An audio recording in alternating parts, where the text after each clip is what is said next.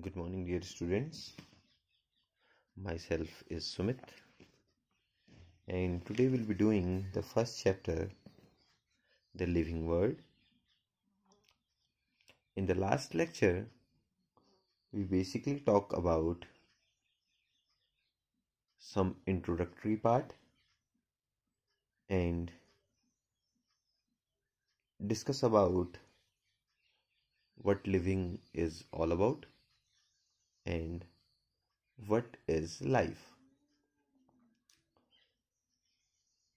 In the last lecture, we talk about life is the summation of nucleic acid, proteins, and carbohydrates, and the nucleic acid includes the DNA, RNA,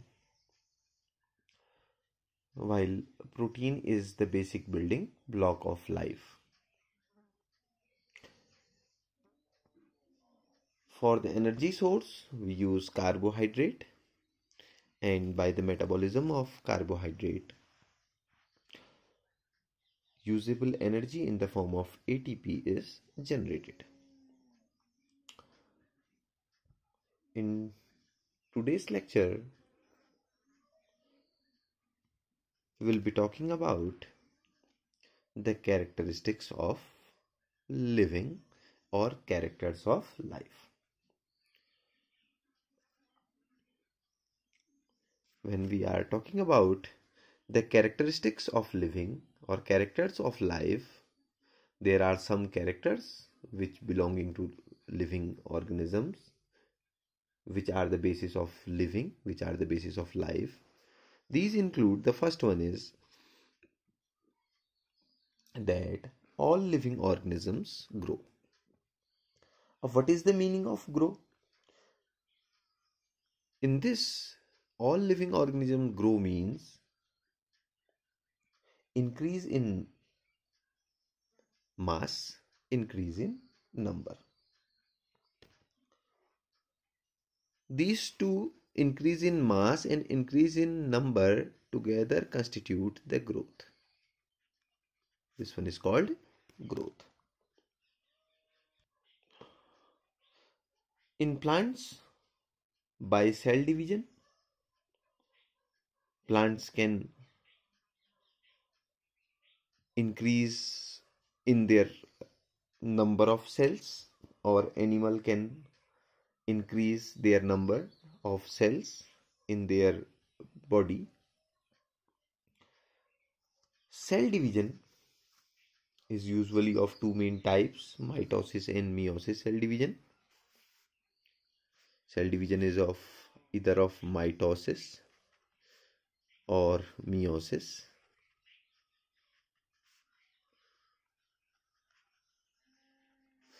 Mitosis cell division takes place in the body cells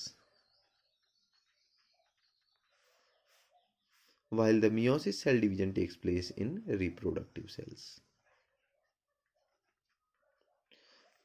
For the formation of gametes during sexual reproduction, the chromosome number will become half of the parental cell and in such cases meiosis cell division takes place. So meiosis cell division usually takes place during the formation of gametes. And as we know that gametes are haploid in number haploid in uh, their chromosome number. So meiosis is a type of cell division in which the chromosome number remain half of the parental cell. While the main cell division mitosis takes place in all the growing cells even each multicellular individual, each multicellular plants and animals grow in their size, grow in their number of cells, grow in their body organization due to mitosis. It means from a single cell, a multicellular organism is formed by mitosis cell division and during mitosis cell division the daughter cells formed have the equal number of chromosome as of the parental cell. So this one is the first character of all living organisms that all living organisms grow either in mass or in number or both. The second characters of living include reproduction character, reproducing character. So reproduction is also a characteristic of living organism. If we are talking about reproduction, reproduction is usually the production of progeny possessing features similar to those of parents. As we know that every individual have the ability, have the tendency to produce the offspring of similar type.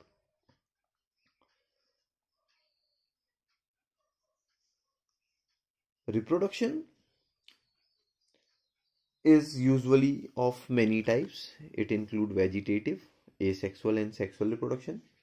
Vegetative reproduction in which any part of a organism will directly develop into a new individual like in case of rose a cutting of rose from the cutting of rose a new rose plant can form asexual reproduction is usually by spores there are many types of spore like zoospores, aplanospores. Zoospores are always motile, aplanospores are always non-motile spores. The spores are produced within a specific cell called sporangia. So if zoospores are formed, the cell is called zoosporangia. Aplanospores are formed, the cell is called aplanosporangia. Sometimes the spores are produced outside the sporangia or outside any cell. These spores are called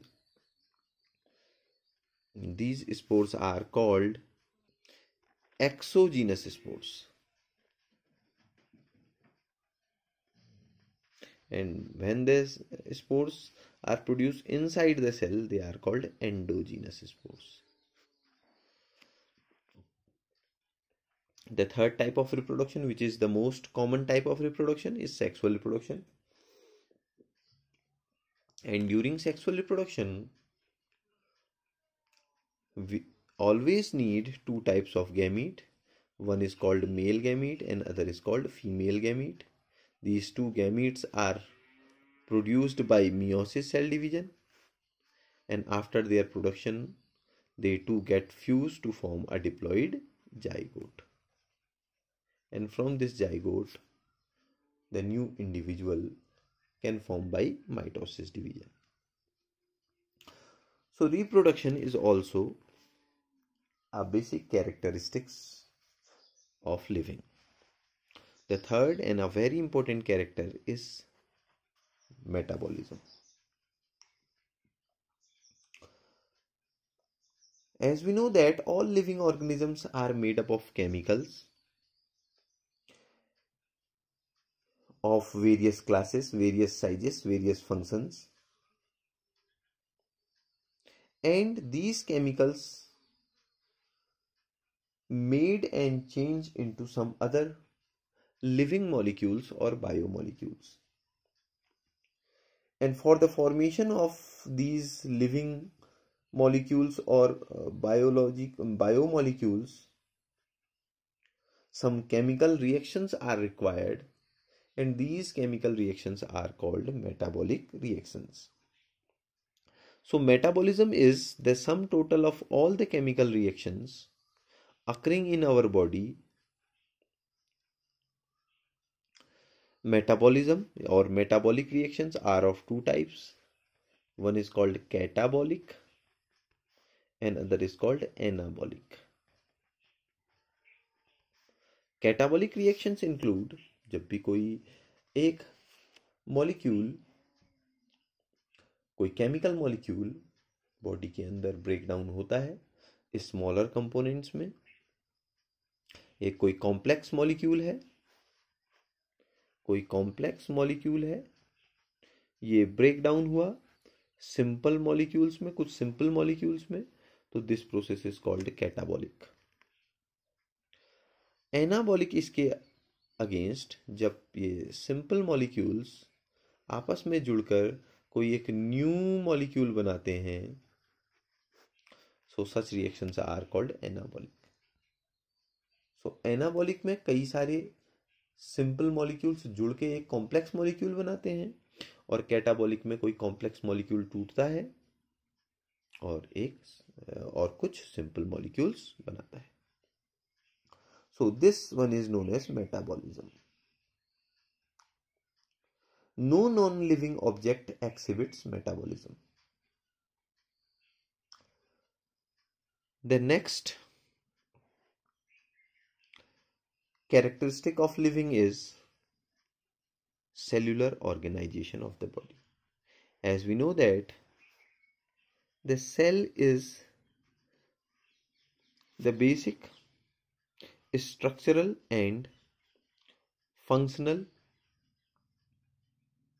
structural and functional basis of life. It means each living organism is made of, of one or many cells. Like in unicellular individual, a single cell is a single life or a single individual or in a multicellular individual, many of the cells together constitute a living organism. So,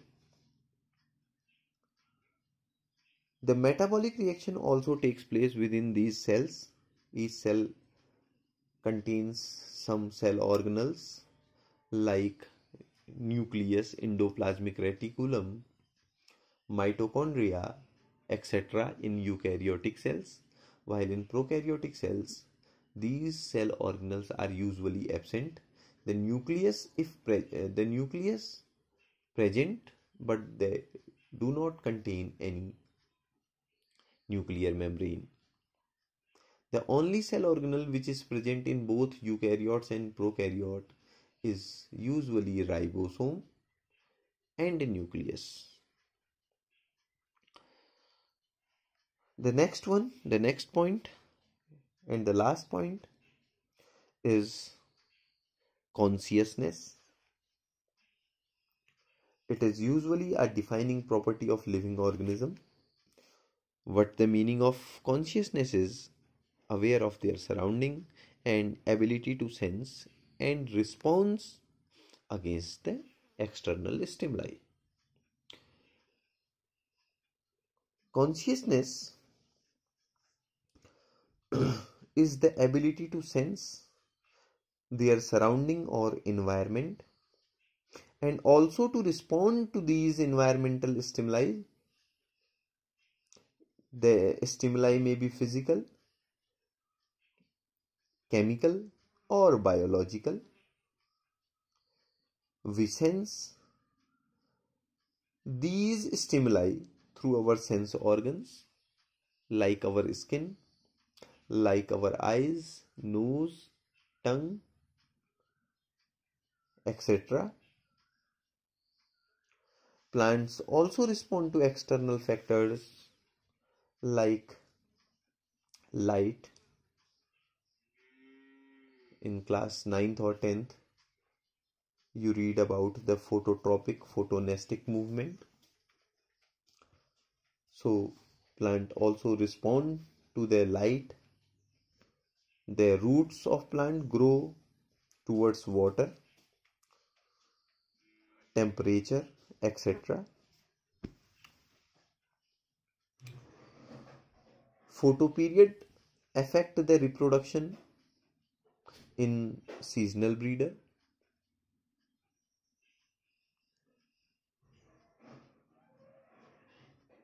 All organisms therefore are aware of their surrounding. Human being is the only organism who is aware of himself also. So human uh, being is self conscious human being is self conscious self consciousness is there.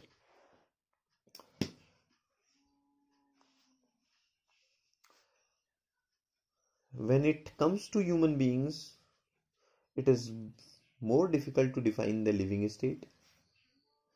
We observe that the patient lying in coma in hospitals virtually supported by machines which replace the heart and lungs and also other organs like kidney